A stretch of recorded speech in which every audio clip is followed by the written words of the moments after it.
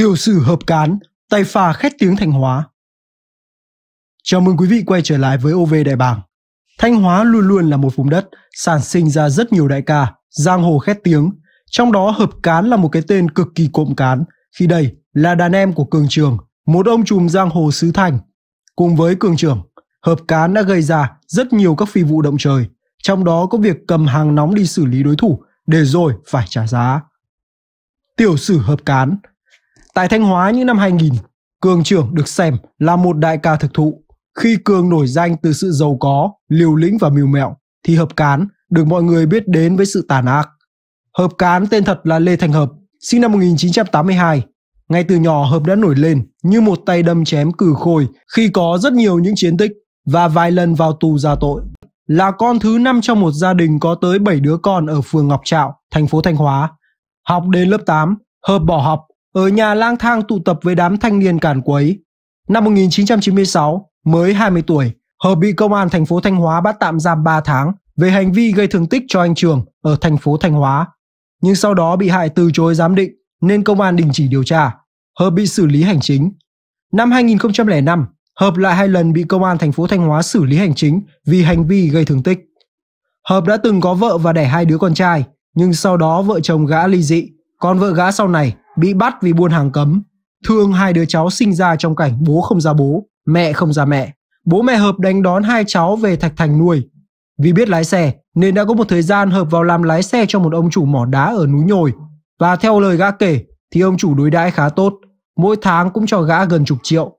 Nhưng rồi cái máu lưu manh, can quấy, khoái đánh người đã khiến cho gã tụ tập về dưới trướng của cường trưởng và trở thành một kẻ đắc lực trong những trận đánh nhau với các nhóm khác. Lúc đó tại Thanh Hóa, hợp cán được xem như một hung thần thực sự khi sẵn sàng sử dụng hàng nóng cho các cuộc va chạm. vũ truy sát đẫm máu.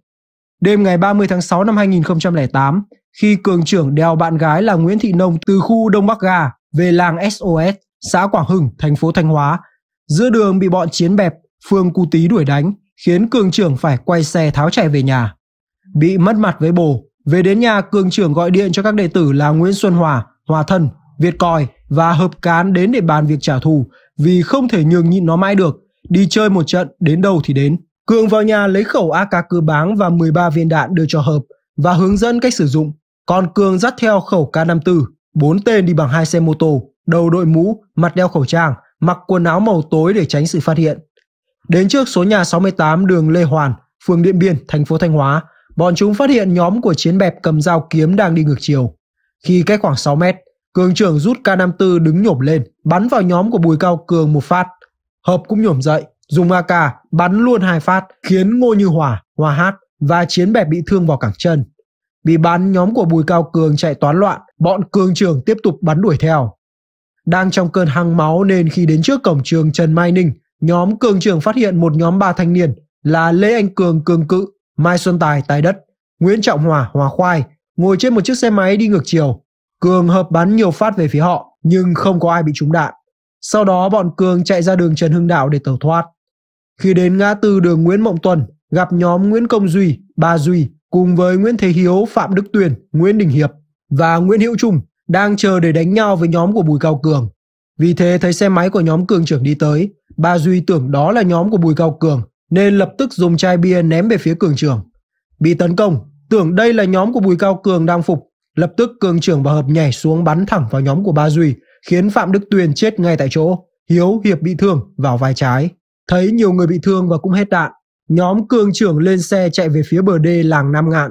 Cường, Hợp đưa hàng nóng cho Hòa thần và Việt Còi đem về nhà chú ruột Cường là Lê Khắc Lương ở xã Hoàng Kim huyện Hoàng Hóa để cất giấu.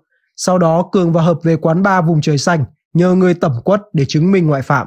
Năm ngày sau, Cường trưởng xuống nhà Lê Khắc Lương lấy hai khẩu là tăng vật vụ án đem về đưa cho Phan Hoàng Thành là thợ điện của ba vùng trời xanh mang đi cất giấu. 31 ngày truy lùng nhóm sát thủ. Phải nói rằng đây là lần đầu tiên trên địa bàn thành phố Thanh Hóa xảy ra vụ án nghiêm trọng đến như vậy, nên lực lượng công an đã tập trung toàn lực lượng quyết tâm điều tra làm rõ vụ án. Ngay sau khi vụ án xảy ra, công an thành phố Thanh Hóa đã lập ban chuyên án do đại tá Trịnh Xuyên, phó giám đốc, thủ trưởng cơ quan cảnh sát điều tra, nay là thiếu tướng giám đốc, làm trưởng ban Thượng tá Lê Trọng Dinh, trưởng phòng cảnh sát hình sự nay là thiếu tướng, cục trưởng cục hướng dẫn tạm giam, tạm giữ Bộ Công an làm phó ban thường trực, huy động nhiều điều tra viên trinh sát dày dặn kinh nghiệm tham gia. Vụ án gặp muôn vàn khó khăn vì xảy ra trong đêm, hầu như không có nhân chứng. Bị hại đều là những người có vi phạm, lại sợ bị trả thù nên không chịu hợp tác với cơ quan điều tra. Xác định được rằng ngoài việc thu thập chứng cứ thì vận động quần chúng tố giác tội phạm và thuyết phục các bị hại khai báo là mấu chốt mở vụ án, nên ban chuyên án đã chỉ đạo các điều tra viên bảo vệ bị hại trong những ngày họ nằm viện, vừa tránh sự trả thù của nhóm khác, vừa có cơ hội động viên họ, thậm chí chăm sóc các bị hại, đưa đón họ mỗi khi những người này cần di chuyển, bỏ tiền ra mua quà thăm hỏi. Cảm động trước sự nhiệt tình của cán bộ điều tra, một số người trong nhóm bị hại đã bắt đầu khai báo.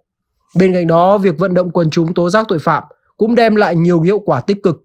Trong đó có hai thanh niên cho biết, trong đêm xảy ra vụ án, họ thấy có hai nhóm truy đuổi nhau, nhả đạn. Do quá hoảng sợ, hai người này ngã xe máy, bị bốn kẻ bịt mặt, mặc quần áo màu tối đi trên hai xe máy định bắn, nhưng họ van xin, không phải em, nên chúng bỏ đi. Cơ quan cảnh sát điều tra đã sàng lọc hàng chục ổ nhóm, hàng trăm người, xác minh hàng nghìn mối quan hệ phức tạp liên quan đến những kẻ nghi vấn, vận động nhân dân cung cấp thông tin. Qua sàng lọc, đã nổi lên băng nhóm do Lê Khắc Cường cầm đầu. Bắt được Cường nhưng hắn hầu như không khai báo gì. Với kinh nghiệm của những người làm điều tra lâu năm, trưởng phòng Lê Trọng Dinh đã quyết định chọn Lê Thanh Hợp để mở nút. Trong băng nhóm do Cường cầm đầu thì Lê Thanh Hợp được coi là cấp phó, nắm rõ mọi hoạt động. Là người trực tiếp cầm hàng nóng bán chết người nên khi bị bắt, Hợp nhất quyết không khai báo mà còn thách thức cơ quan điều tra. Có lúc đập đầu vào tường để dọa tự sát. Với kinh nghiệm của người làm điều tra lâu năm, anh Dinh đã trực tiếp gặp Hợp, phân tích lý lẽ đúng sai.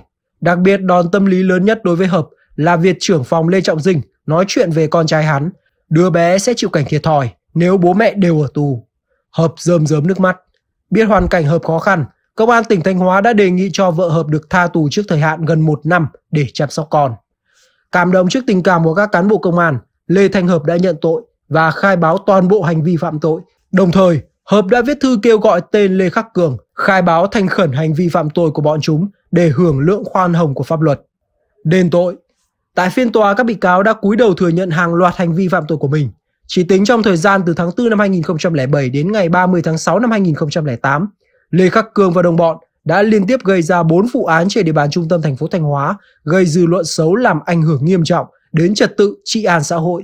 Điển hình nhất là vụ giết người, tàng trữ sử dụng trái phép vũ khí quân dụng xảy ra trong đêm ngày 30 tháng 6 năm 2008 có tính chất đặc biệt nghiêm trọng.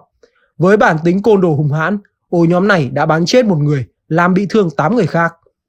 Căn cứ vào các tình tiết phạm tội của các bị cáo, Tòa nhân dân Thanh Hóa đã tuyên phạt Lê Khắc Cường, tức Cường Trường, án tù trung thân vì tội giết người, tàng trữ sử dụng vũ khí quân dụng trái phép.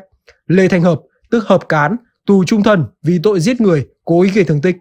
Các bị cáo cũng phải thực hiện hành vi bồi thường cho các nạn nhân theo đúng quy định của pháp luật. Hối hận muộn màng. Tôi gặp Hợp ở trại giam Ninh Khánh khi Hợp đã yên vị với án trung thân, nhưng anh ta vẫn luôn cảm ơn công an Thanh Hóa, trong đó có chú Lê Trọng Dinh, cục trưởng C85, người anh ta luôn coi là ân nhân và các thầy ở trại giam Ninh Khánh đã cứu giúp cuộc đời Hợp. Kẻ thù ác từng nổi danh một thời, giờ đã hiền như đất. Bởi hơn ai hết, Hợp đã hiểu rõ được rằng quay đầu là bờ. Hợp cúi đầu.